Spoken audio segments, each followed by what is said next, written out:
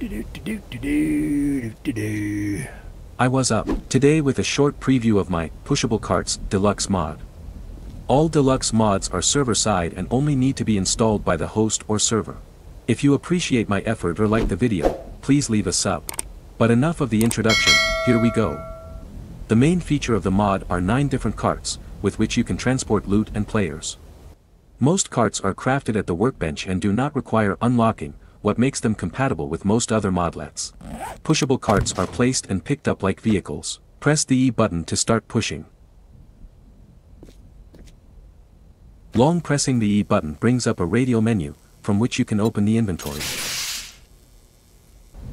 There is a hand cart, shopping cart, utility cart, janitor cart, tilt truck, laundry truck, trash, stretcher, and a wheelchair. All carts have funny and matching sound effects, which can be triggered by pressing the horn button. Ooh, you look banged up. Let me help you.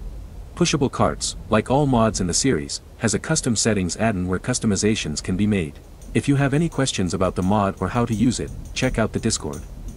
Alright, so far to the content of this mod. If you like the mod and the video, let the thumbs up button glow and switch on again when it's time for Eihwaz Up.